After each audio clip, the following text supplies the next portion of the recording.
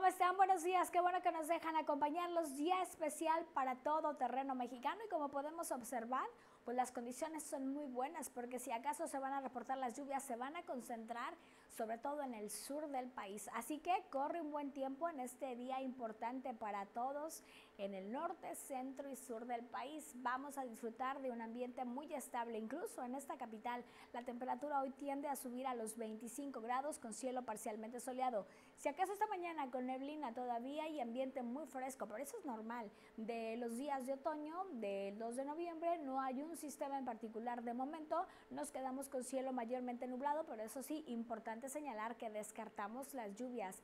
Hay un buen tiempo estimado para hoy en la capital, por lo menos hoy, que es 2 de noviembre y que hay mucha actividad prácticamente durante toda la jornada.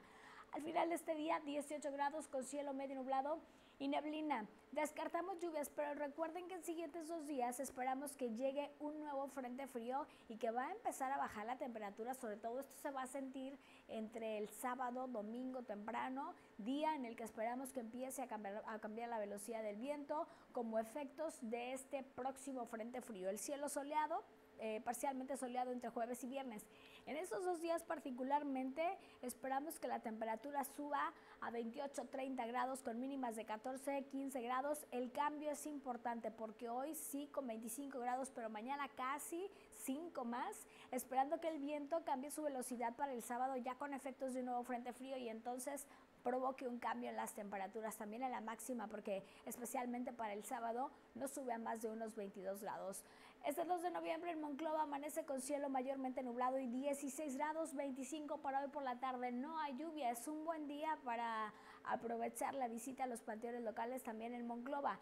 No tenemos lluvia, pero sí consideren que la tarde, aunque solo sube a los 25 grados combinado con cielo medio nublado, al exterior pues sí se va a hacer sentir un ambiente seguramente, aunque sea temporal, pero ligeramente cálido.